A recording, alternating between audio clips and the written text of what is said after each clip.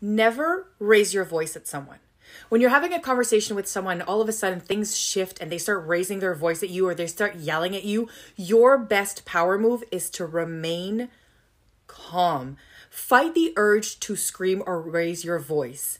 The person that controls their emotion is the person that controls the conversation.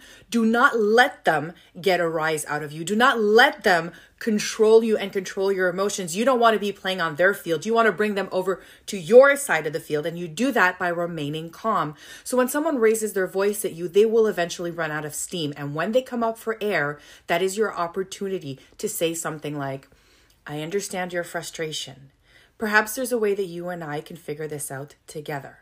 And if they keep raising their voice at you, you keep staying calm and you say that sentence over and over again until they have calmed down and they see things your way. You will demonstrate in that moment just how powerful and in control you are.